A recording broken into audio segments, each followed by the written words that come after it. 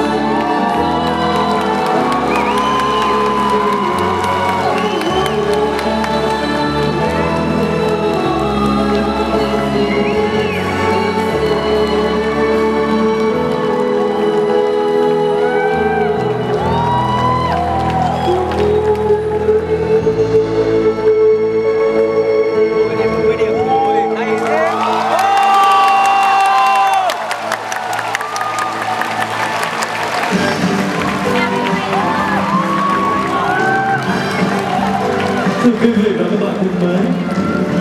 một cảm xúc vỡ hòa một cảm xúc đầy hào